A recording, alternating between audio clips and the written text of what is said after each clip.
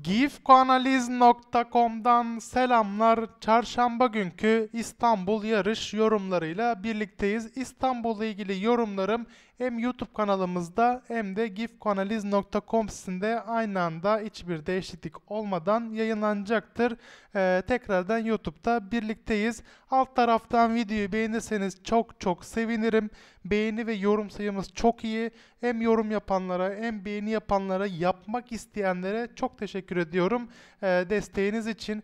İsteyenler biz Twitter'da GIF analiz yazarak takip edebilir. Çok aktif miyim? Değilim.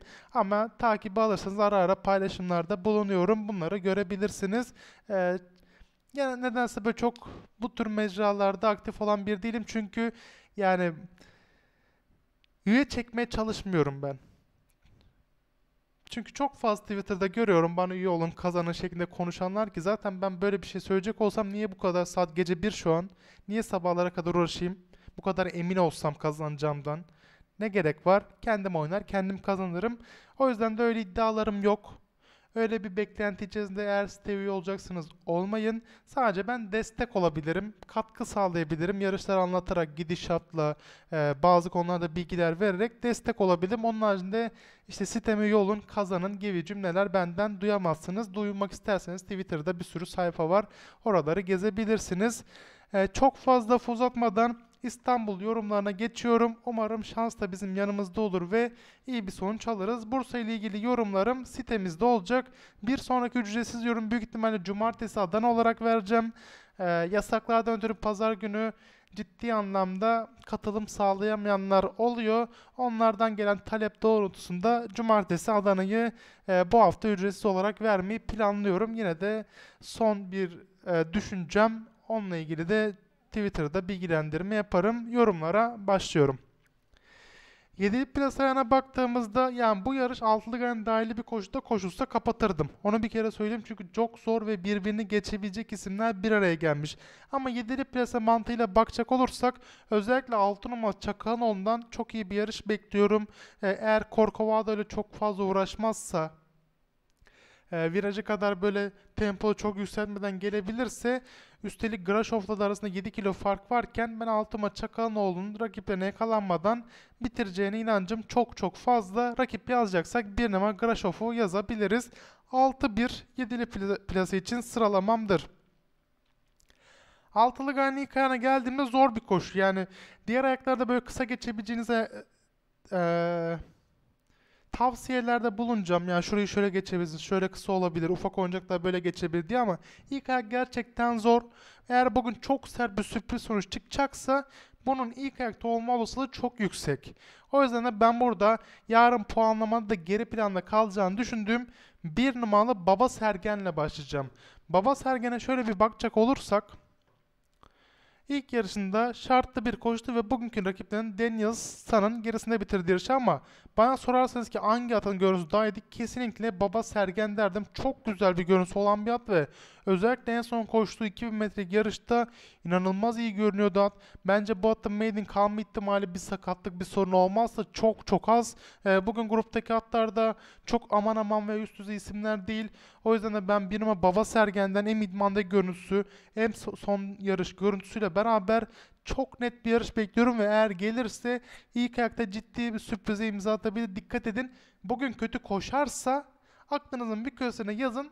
Birkaç yarış içerisinde bu attan iyi bir yarış bekliyorum ki böyle atlar genelde kazanıyor benim söylediğim. Mesela geçen haftada ben Prime Runner'ı banko önermiştim. O gün dördüncü oldu. Ondan sonraki yarışta tak diye çıktı ve kolay bir şekilde güzel birincilik elde etti. Ondan mesela Brave Runner. Geçen hafta da banko oynamıştım. Bir yarı sonra çıktı tak diye o da kazandı. O yüzden de böyle önerdiğim atlar o gün kötü koşsa bile aklınızın bir köşesine yazın. Birkaç yarış içerisinde kesinlikle başarılı oluyorlar. Baba Sergen öncelikli. Daha sonra Altımalı Ayvan'la Liv. Burada önde gidebilecek atlar fazlasıyla var. Eğer tempolar erken yükselirse hayvanla Liv'in sonlarda iyi bir şekilde geldiğini görebiliriz. Daha sonra ikililerden ikime Benzema son yarışı iyi değildi ama özellikle bu atın İstanbul'da koştuğu ve dördüncü elde ettiği yarış çok iyiydi. Ekürüs'ün de katkılarıyla beraber iyi bir yarışı imza atabilir. Daha sonra 8 numaralı Lucky Boy 9 numaralı Milvus'a dikkat edin. Son yarışında bana kalsa yarış gösterdi bu ata ve bu at kısa mesafe iyi koşar. Ee, fena da bir isim değil. İdmanda olsun, yaptığı çalışmalar olsun.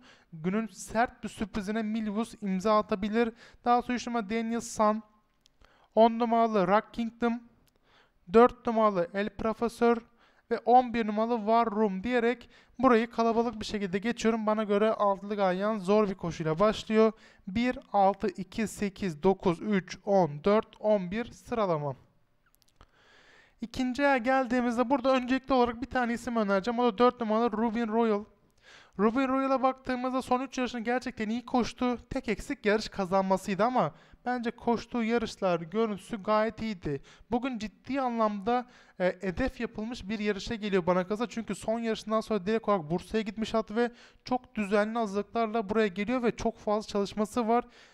Eğer Sahrap çok fazla zorlamazsa Rubin Royal'ı önde bence 4 numara startla beraber liderliği alır. Bitişe kadar da bu yarışı korur ve kazanır.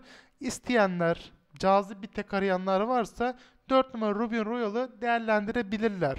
Ama oldu da Sahrap çok fazla üzerine giderse tempolar yükselirse bu sefer Dikuma Defne yaprağı sonlarda iyi gelebilir. Ağır kilosuna rağmen 1 numaralı Esenur iyi koşabilir. 3 numaralı Tanır Kız son yarışı tam bir hayal kırıklığıydı benim için ama bu tür hatta inişli çıkışlı performansı olabiliyor. O yüzden de çok fazla ölçü almamak gerekir. Ufak oyuncaklar ya 4'ü tek atabilir ya 4-2-1-3 sıralamasıyla geçebilir burayı. Daha geniş oynayanlar 8 numaralı Malala, 6 numaralı Sahrap idmanda fena görmedim. Bu Sahrap'ı ki ilk yarışta kazandı herkesin dilindeydi bu at. Ondan sonra geriye gitse de bu 94 gün içerisinde yaptığı çalışmalar fena değil. Son olarak da idmanda çok beğendiğim 7 numaralı Karacael izleyeceğim. Ya ben bu atın kumda gerçekten iyi yarışlarını bekliyordum. Ama bir türlü o benim beklediğim yarışlar yapamadı. Çünkü babası Özduran'dan aslında Sentik'te iyi yarışlar yapması gerekiyor bu atın ama Sentik performansı maalesef iyi değildi. Baktığımız 63 gün içerisinde oldukça iyi çalışmalarla geliyor. Gelmesi durumunda çok ciddi bir sürprize imza atabilir. 4 numaralı Rubin Royal alternatif tekim 2-1-3 öncelikli rakipler daha geniş oynayacaklar 8-6-7'ye dikkat edebilir. Üçüncüye geldiğimizde bir numaralı Sancar'ı günün bankosu olarak öneriyorum. Baktığımızda evet AGF'sinin fazla çıkacağının ben de farkındayım. Ama yanına at yazmaya elim gitmedi. Çünkü Sancar'ın son yarışına bakarsak bu at şartlı 4 kazandı ve bugün tekrardan şartlı 4'e geliyor ama bana kalırsa son yarışı şartlı 4 değil bir kısa vade ayarında bir koşuydu. Sadece ismi şartlı 4'tü çünkü Black Grape, Tagor, Kubilay Bey, Safari gibi isimler şartlılardan ziyade böyle kısa vadelerde de başarılı olabilecek, olabilme potansiyeli olan isimler. Bugünkü geldiği grup ise bana göre şartlı 4 mü? Daha mı şartlı 3 civarında mı? Ee, bir şey diyemiyorum. Çok uygun gruba geliyor. Aynı iyi hazırlıklarını sürdürüyor. Üstelik tam bir gidişat avantajı var Sancar'ın. Anıl abi, Aynalı Çarşı, Bozkara, Hür Uçan, Kale Barajı, Oğlum Fatih, Ülgen Bey, Yüksel abi bunların belki direkt olarak tempoları yükseltmeseler de bir yerler tempoları yükseltecekler. Bu da bir numara Sancar'a çok yarar. Bence sonlarda yapacağı ataklarla beraber kazanacaktır. E, bugün İstanbul'da Bankom bir numaralı Sancar. Dördüncü aya geldiğimizde burada cazip bir atla başlayacağım ve bu atın ismini yarın çok fazla duyabilirsiniz. Tahminciler üzerinde söylüyorum. E, o isim 2 numaralı Mavra. Puanlamalara baktığımda net dördüncü at koşuyor. Yani bültenlere baktığımda yarın geri planda kalmasını bekliyorum ama kesinlikle Mavra'dan iyi yarış göreceğiz. Çünkü tempolar yükselmeyecek burada. Korkmaz Efe, Nibolu, Özgün Stone ve Selkut önde gitmezler. Acaba burada eküller nasıl bir taktikle koşacak? Bana kalırsa ben eğer Çelik Kurt ve Mavra'nın sahibi olsam Çelik Kurt'u bırakırdım öne. Diğer jokeyler Çelik Kurt nasıl olsa bitiremez düşüncesiyle erken yürümek istemeyecekler. O yüzden de Mavra onu ikincilikte takip edip bir yerlerden sonra ondan atlayarak ki burada kesinlikle 400'ler falan 30'lar civarında geçecek ilk 400'ler. Çok yavaş tempoda gidecek yarış. Ee, bu gidişat ikime Mavra'ya yarar. Dediğim gibi Çelik Kurt'u bir yere kadar önüne bırakıp bir yerden sonra Mavra ondan bayrağı alıp bu düşük tempoda fırsat bilerek bence sonlarda dinç kalır ve bir beyaz bayrak aynı yapar. Bu atın uzun mesafede Özcan Yadır'ın çok güzel birinciliği vardı. Eğer bugün kafamdaki yarış olursa tempolar yükselmezse beklediğimiz gibi 2 numaralı Mavra'nın kesinlikle yarışı önlerde bitireceğini düşünüyorum. Ee, benim için rakiplerin bir adım önünde olan bir Mavra var. Rakip 3 numara Nibolu. Çünkü Nibolu yazma nedenim Nibolu da öne yakın giden bir at. Büyük ihtimalle eğer Çelik Kurt'u öne yollarsalar Çelik Kurt, Mavra, Nibolu şeklinde diye yarı sıralanacak. Diğer isimler de arkada e, bir üçlü oluşturacak. Eğer Mavra o beklediğimiz yarışı yapamazsa öndeki isimlerden büyük ihtimalle 3 numara Nibolu diri kalır ve yarışı kazandığını görebiliriz. Benim sıralamam 2 numaralı Mavra'ya dikkat edelim. 3 numaralı Nibolu rakip. 5. aya geldiğimizde burada bir 5 numaralı Giant Dream'i izletmek istiyorum ilk yarışını. O arada ben de bir su içeyim.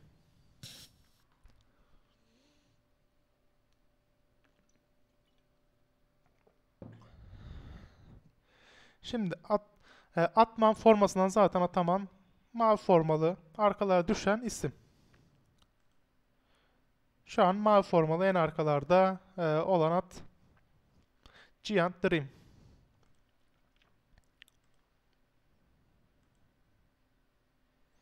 Üç numara. Buralarda bariyer dibine giriyor ve bana sorarsanız ki yarışı kazanır mıydı? Yarım boy bir boyla biterdi yarış veya böyle burunla falan biterdi ama ben yine ön tarafta kazan atın kazanacağını düşünüyordum. Bu sıkıntıyı yaşamazsa. Çünkü burada bariyer dibine girdiğinde biraz da şurada El Cantador muydu öyle bir şey. Encantador. Onun da etkisiyle beraber bariyer dibi kapandı ve buralarda en az 3-4 boy bir fark e, dezavantaj yaşadı Giant Dream. Oralardan toplanması, kendine gelmesi ve sonlarda inanılmaz diri bir şekilde fotoya geçmesi gerçekten mükemmeldi ki son metrelde bir Alice Kartaş'a bir bakalım.